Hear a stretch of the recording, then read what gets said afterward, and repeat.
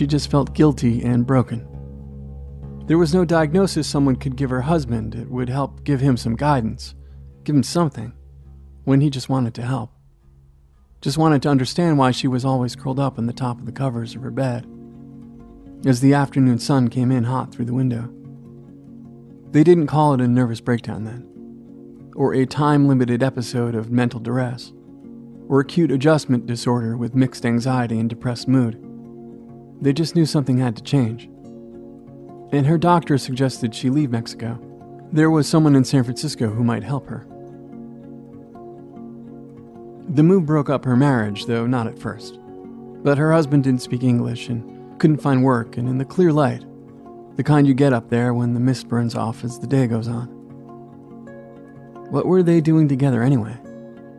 And so Ynes was on her own in the East Bay, in the care of a Dr. Philip Brown. This was a time when psychology was new, and psychologists were just fumbling around at best. At worst, they were barbaric. But I can tell you with no small sense of relief that that wasn't Ynes's story.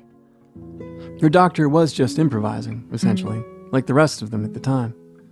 But he was guided by kindness, and curiosity, and empathy, and all those things one would want their doctor to be. And he worked with Ynes for years, helped her through the disillusion of her second marriage, helped her find some balance. And he did what anyone, a therapist, a friend, an inspirational Facebook meme, might do now.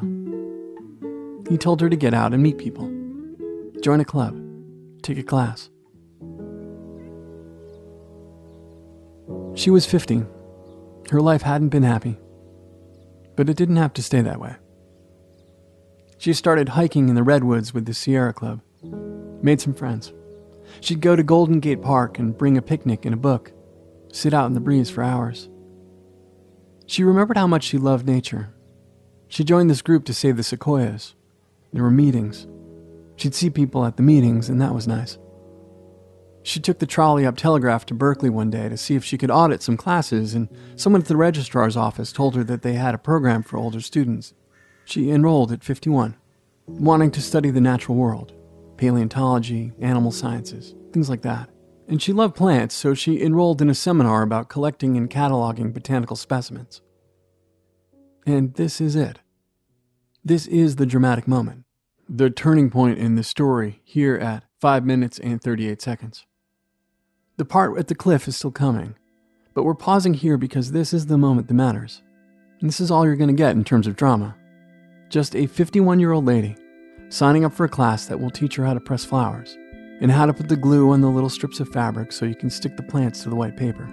Just a middle aged person whose life had been little but long, marked by years of the kind of sadness and disappointments and loneliness and failed and misguided relationships that cling like burrs. At some point, you stop bothering to pick them off.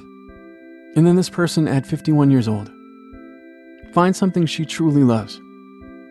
And this is the thing, and it is always the thing. She does it.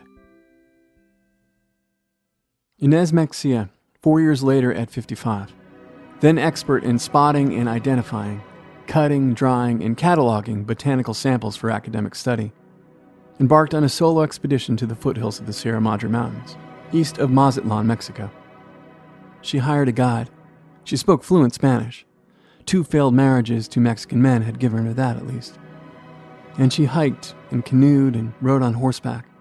She slept in tents, slept in the open air under the stars. And she'd stop to cut flowers, reach to clip leaves from high branches, collect the seed pods of shade trees that would snow in the desert, catch the air and soar and dip, and rise on some unseen current and disappear. She'd dry them and press them, describe where they were found and label them, and send them off, one set to Berkeley, one to Harvard, one to the herbarium at the Royal Botanical Gardens in London and other places. She had made deals before she left. They'd pay her 20 cents per specimen. And one day she was in the mountains and she spotted a plant she'd never seen before. Maybe something wholly new, something yet unclassified, growing out from a crack at the edge of a cliff. And she crawled toward it out over the valley and reached and fell, as you know already. But there were plants below her that broke her fall and saved her, as seems appropriate. And she broke some ribs and hurt her hand, and she had to go back home early, and that was the extent of it. She had collected fewer plants than she had hoped. But she had hiked the Sierra Madre Mountains at 55. And she had loved it. She had loved it. And so she returned, and returned again to Mexico, barefoot in the reeds and salt marshes in Escuinapa de Hidalgo, in the back of a dugout canoe on a night lit only by fireflies blinking on the banks of the Grijalva, to Panama through the canal, to Ecuador and Peru and Brazil up the Amazon, to Alaska, to the Andes, to Tierra del Fuego, and then home to Berkeley when she was 68 and losing weight. And her friends, there were so many of them, from the university, from the Sierra Club, were there for her as she died from lung cancer in the July of 1938. She'd been diagnosed just a month before.